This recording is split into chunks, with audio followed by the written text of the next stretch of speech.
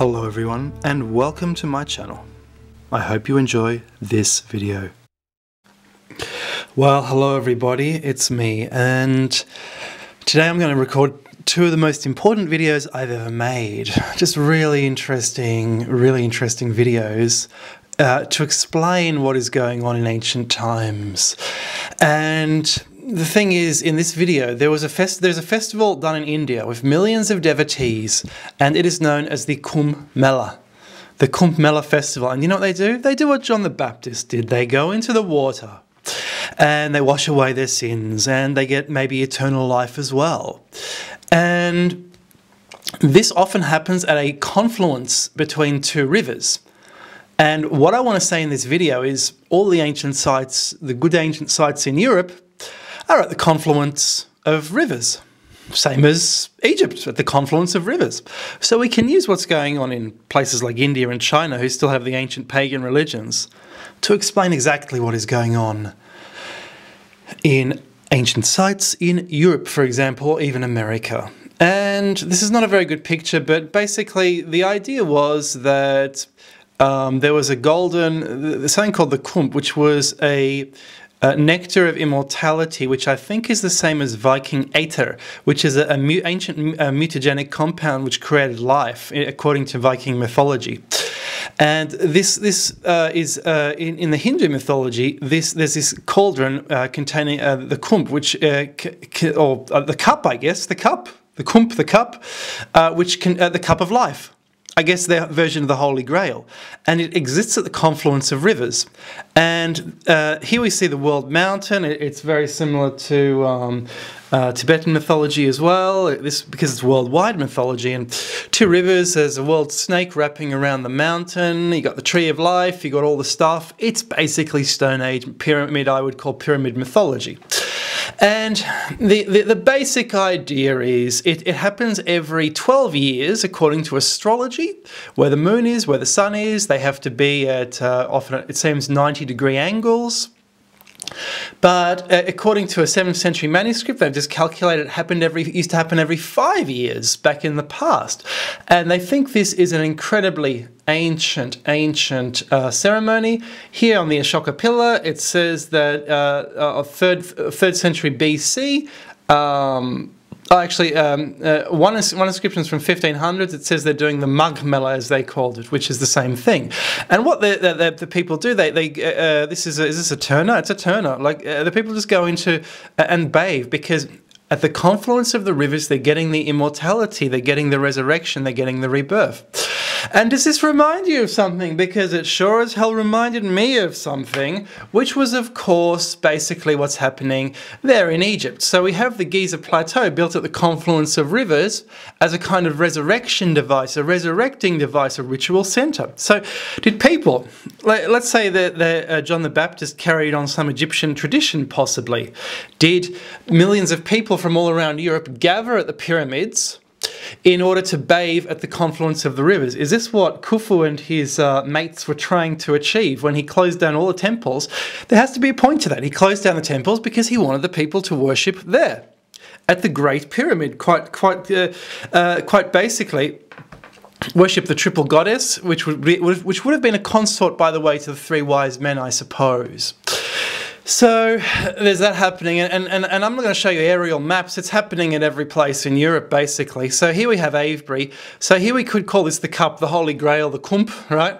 And here we have one river, River Kennet, right? And, uh, and it actually goes down there in between. It actually snakes, slithers in between Avebury and Silbury Hill. So we actually have a yin and yang symbol right here uh, which is quite interesting to say the least. Uh, there, Beckhampton, we've got a, a, few, few funny hills and barrows. So the snakes actually uh, used to go out here like this in Stukeley's time, like that. And at each town, uh, there would have, each town was built from the rubble of the, the, the, the, the, the the, the circles here, uh, which would have been demolished. Right? Remember William Stukeley's old map of the snakes. But you see, it's at the confluence of rivers. So people would, millions of people would have gathered here in Stone Age times and worshipped, I guess. Uh, a place in Germany, a suburb called Syburg, and where Hohensyburg is. I'm going to cover this in the next video because it's the location of Valhalla, I believe. And uh, we're going to reveal that exactly where it is and, and all that, and um, where Valhalla is and all this. But uh, basically, this is where um, uh, it was even reused, and uh, a statue of the Kaiser was was placed here. It's called the Kaiser.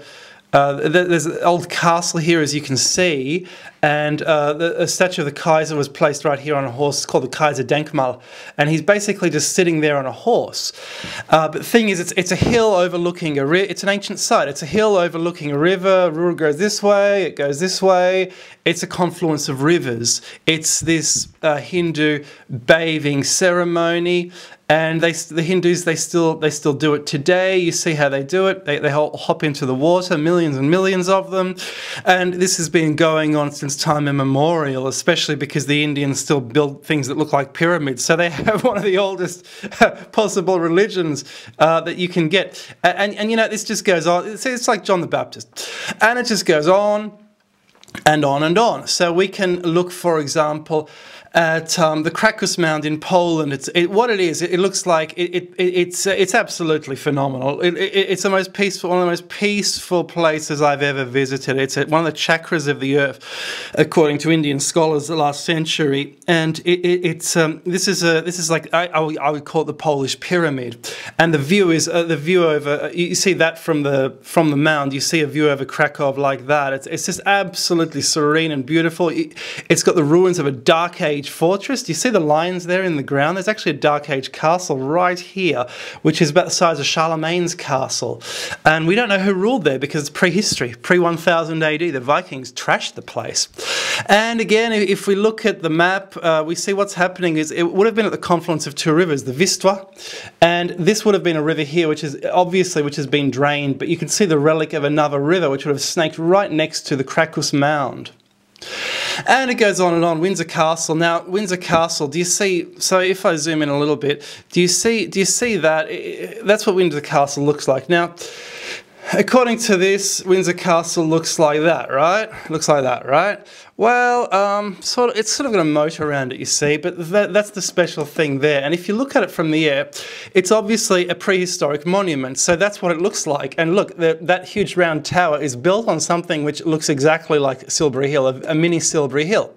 So, um, and it's just it's just absolutely spectacular that um, that. Uh, and, there's a motor motor see there it is right there and there's a there's actually a you actually look down into the moat and so it's a moat or a Motte and Bailey Castle so um, the, the, the, the, motte is the mound, but it's almost the same word as moat, isn't it? Like, what's the English people couldn't tell the difference. Or is that the moat, or is that the moat? Because they didn't speak French, right? Uh, but so they built this turret uh, there, that the earliest part of it on top of this, which is uh, fascinating. But uh, so let's look at the environs of Windsor Castle, and it's just the same kind of thing happening. So there's Windsor Castle right there. And it looks like there was another river here which has been partly drained out. Um, and so it's at, again at the and there's another one there. It's at the confluence of rivers, the River Thames, um, and this one is uh, the Jubilee River, right?